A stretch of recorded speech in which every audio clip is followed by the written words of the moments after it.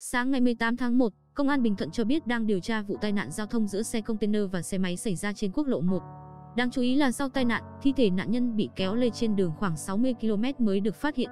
Theo đó, chiếc xe container mang biển số tỉnh Tiền Giang do tài xế Bùi Minh Tùng, 49 tuổi, quê Tiền Giang, cầm lái chạy theo hướng Nam, Bắc. Khi đến vị trí trên, xe này xảy ra va chạm với xe máy do anh Trần Đức Vân, 45 tuổi, ngụ xã Hòa Minh, cầm lái đang chạy cùng chiều phía trước và chuẩn bị sang đường. Cú va chạm khiến anh Vân chết tại chỗ và dính dưới gầm xe container. Sau va chạm, chiếc xe container tiếp tục chạy theo hướng ra Ninh Thuận. Ngay sau khi vụ việc xảy ra, người dân đã báo với lực lượng chức năng. Khi chiếc xe đầu kéo di chuyển cách hiện trường vụ tai nạn khoảng 60 km thuộc địa phận xã Phước Nam, huyện Thuận Nam, tỉnh Ninh Thuận thì bị lực lượng cảnh sát giao thông trạm Du Long thuộc phòng cảnh sát giao thông, công an tỉnh Ninh Thuận chặn lại. Kiểm tra chiếc xe đầu kéo, công an phát hiện thi thể nạn nhân ở dưới gầm xe bên trái sau bánh trước.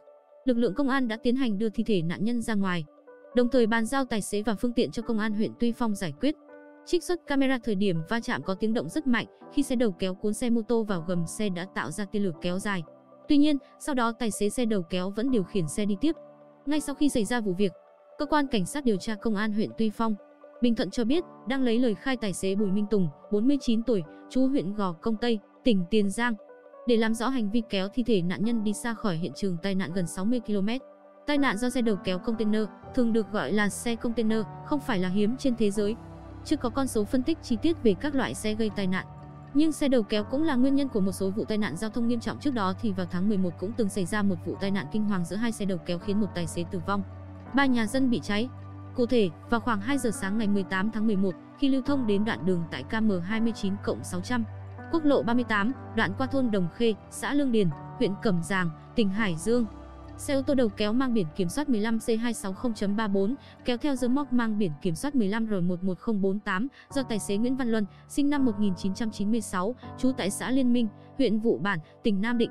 Điều khiển đã va chạm vào sau xe ô tô đầu kéo chạy cùng chiều mang biển kiểm soát 34C279.77 kéo dấu móc mang biển kiểm soát 34R02794 do tài xế Đỗ Duy Huấn, sinh năm 1990, trú tại Nam Đồng, Nam Sách, tỉnh Hải Dương, điều khiển. Hậu quả, xe ô tô đầu kéo mang biển kiểm soát 15C260.34 rơ móc 15R11048 mất lái tông vào nhà dân ven đường, đầu kéo ô tô cháy rụi hoàn toàn và cháy lan ra ba nhà dân nhưng may mắn không có thiệt hại về người.